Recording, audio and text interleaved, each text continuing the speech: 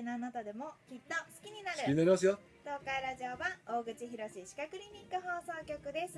今日はですね大口式インプラント法について先生にいろいろお話をお伺いしたいと思います今日もお話ししていただきますのは骨をドリルで削り取らない痩せた骨でも対応できる大口式インプラントの考案者岐阜駅前の大口博士歯科クリニック理事長の大口博士先生です。はい。先生今日もはいお願いします、はいどうぞよろしくお願いします。で今日はですね、はい。まあ、インプラントの手術をうん。受けた後受けたんはい。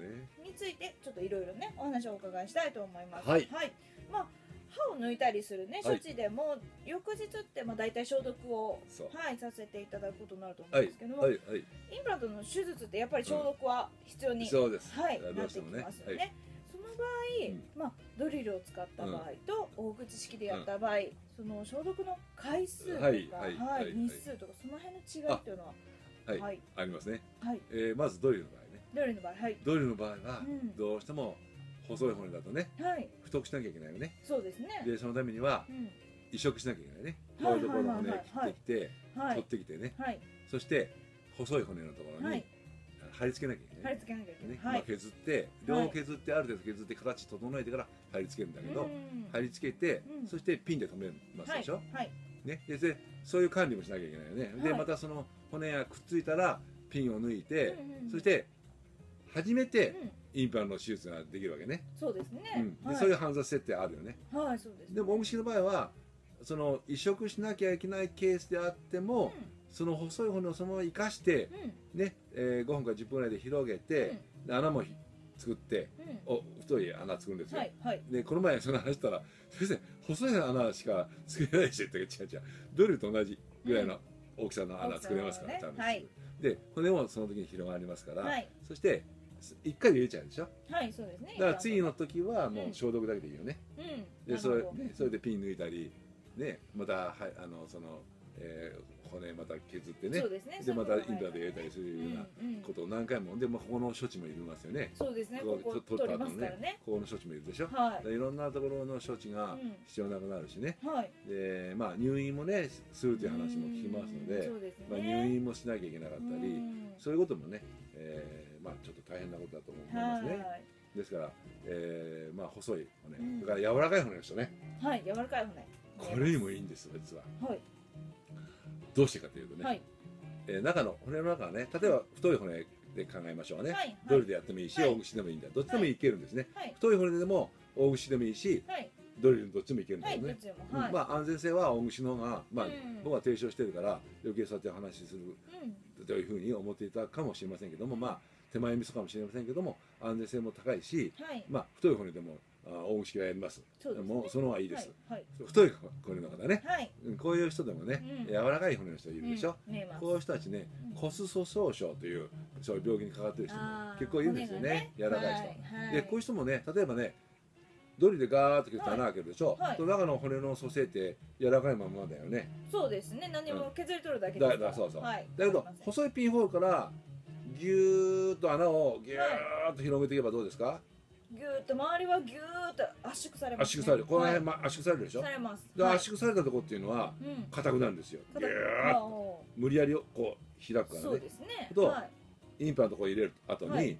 周りの骨のこの穴の周りの骨のところっていうのは圧縮されているのではい。硬、い骨でねはい。インプラントを支えられる。しっかり支えられる。で、はい。ずっと続きますから、うん。まあ、そういう意味でちょっと柔らかめの患者さんでもねうん。大串でやると、うん。えー効果がありますよね、うんそういうことはいですね。まあそのことで、はい。あの柔らかい人それから骨の細い人はい。それから太い人もね、はい。えーもう安全性考えたら大口のいいし、治りもいいですね。そうですね、はい。やっぱりね、まあ、ドリルを使うとね、まあ、前回前々回ぐらいお話ありました。熱を発生しますから発ね生熱でしょう、はい。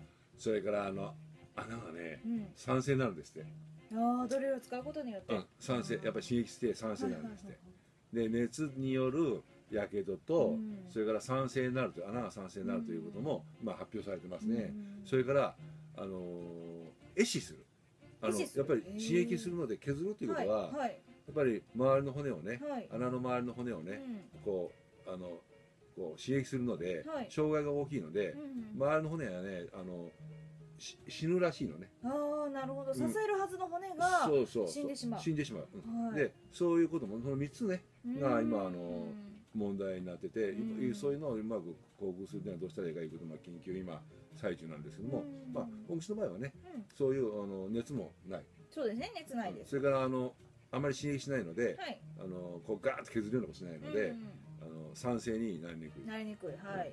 まだこれ実験してないのでね、うんまあ、酸性になってなりにくいのかどうかわかんないけど、まあ、刺激しないのでうん。酸性になりにくいんじゃないかっていう、まあ、想定のことの話しますね、はい。それと、えーこう削り取ってないので、はい。壊死しない。逆に言うと無理やり広げてるので収縮しようとするね。穴が逆にねぐっと縮まろうとするそう。はい。でそういういい作用もね、はい。実際にこれは実験で調べましたけど実際にあの大串で穴を開けた後に、うん。そのまま開けたままあの骨を置いとくとね、うまあ、動物の骨ですけどね、んはいはい。この穴が小さくなってくるっていう現象も出てきてるので、ね、でもドリルで穴開けた場合ははい。穴は小さくならない、はい。その実験もやってます。開けっぱなしで。はい。まあ、これは本当のことの話ですね、うん。まあ、そういうような意味で、えー障害が少ないということとか、酸性が少ないとかいうこととか熱が発生しないという意味で大牛切ったのは非常に、えーいいということで、えーはい。術後の管理も、えー何度も何度も、えーこう抜いたり外したり、めくったりするようなことがないという、そうね。そういう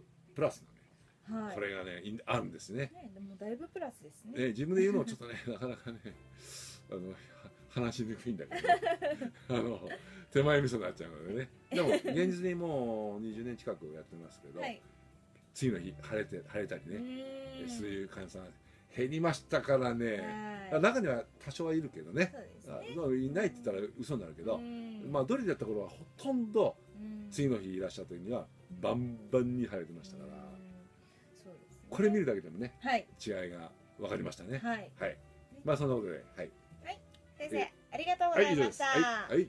噛むことはあなたの健康の源です。まずは奥氏の健康からですね。康に関する情報を配信していますので登録よろしくお願いしますね。